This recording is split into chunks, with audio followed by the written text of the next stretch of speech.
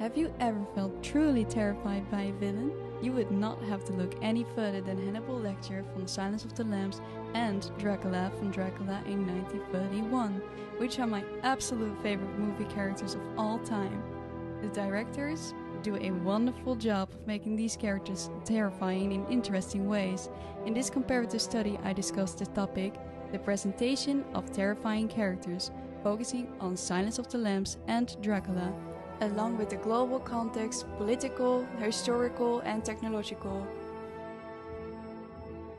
The movie Dracula is a classic American horror movie that influenced the world of filmmakers a lot. Dracula was the first movie that started the Universal horror franchise, which led to movies that are still enjoyed today. Dracula is ranked as the 33rd villain according to the American Film Institute in their AFI 100 Years, 100 Heroes and Villains series. This Dracula is often seen as the prototypical and archetypical vampire in subsequent works of fiction. The story is about an estate agent, Renfield, who, who travels to London to Transylvania to speak with Dracula. However, the people in the village warn Renfield not to go to the castle of Dracula, and especially not during the Night of the Devil.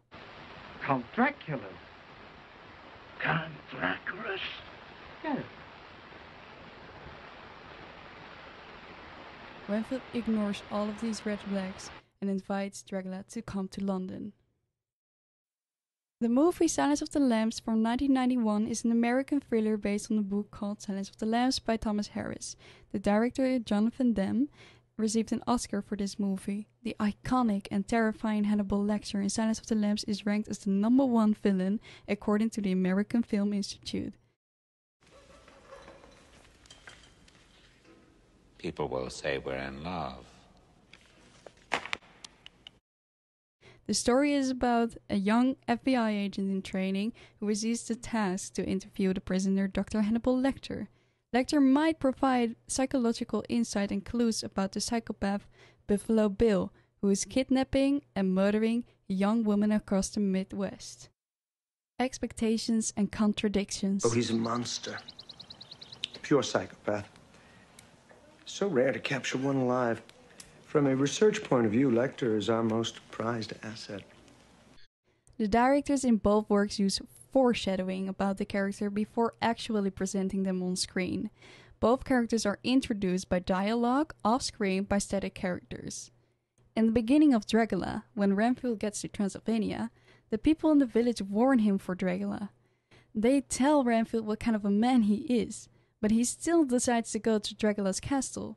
He calls it superstition and myths what the villagers are ty- trying to warn him for. At the castle there are vampires, Dracula and his wives, they take the form of wolves and bats. In Silence of the Lambs, the audience builds up the expectation that Hannibal is the most psychotic and horrendous person in the asylum. The entire build-up pays off in the scene where the protagonist Clarice Starling meets Hannibal. But just before Starling gets to the cell of Hannibal, the director does something interesting in the cinematography. It surprised me how similar the introductions of both discussed characters are. And I will discuss this along with the technological global context. Starting off with the introduction of Hannibal Lecter, the director made sure the camera reinforces the information the audience has learned about Hannibal by making the protagonist, Clarice Starling, walk by the cells. The first inmate seems alarming, as he smiles at her and just says hello. The second inmate is even more dysfunctional, as he just stares and he does not react to the protagonist's presence at all. The third is even more insane, as he crawls around in his cell like an ape. The deeper the protagonist walks into the corridor, the more insane these inmates grow. This gives the audience the idea that Hannibal has to be the monster the static characters described him to be, all to be shattered in the next shot, where Hannibal shows no symptoms of insanity at all. Good morning. Dr. Lecter, my name is Clarice Starling. May I speak with you?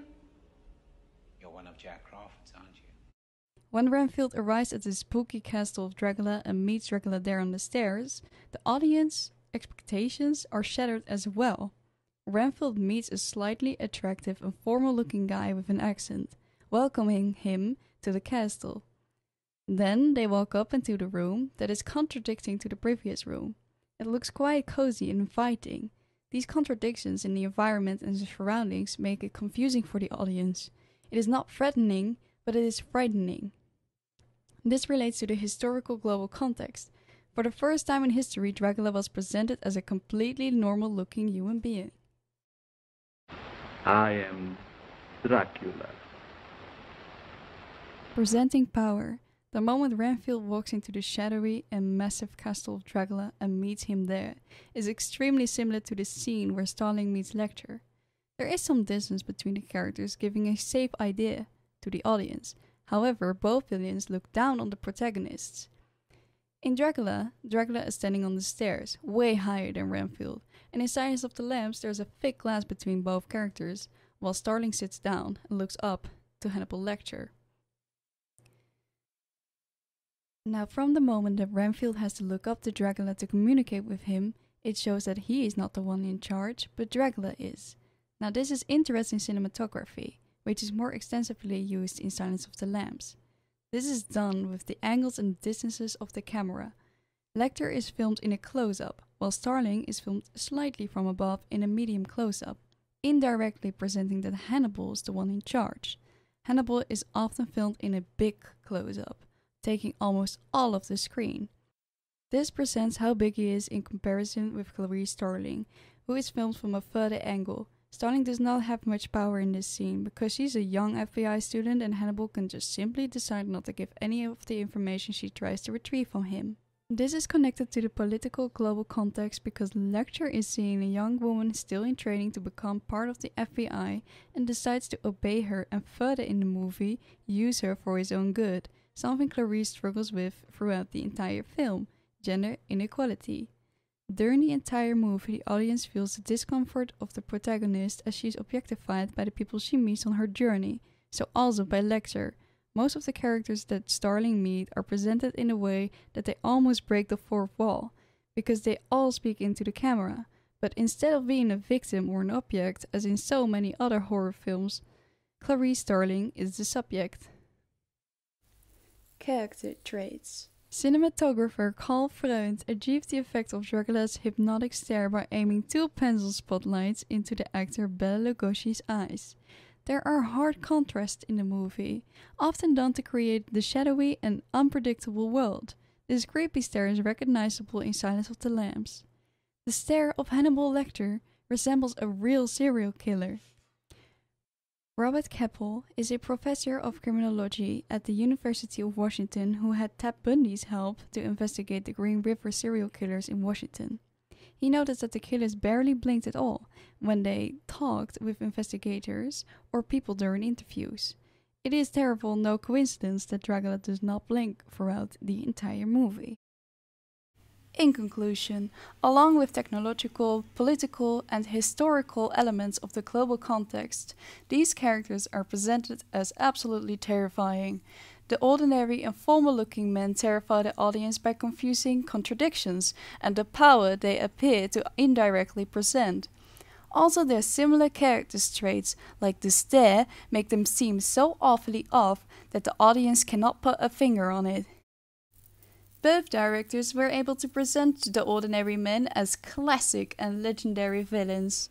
And with that, we've come to an end to my comparative study. However, I do wish we could chat longer, but I'm having an old friend for dinner. Bye. Dr. Lecter. Dr. Lecter.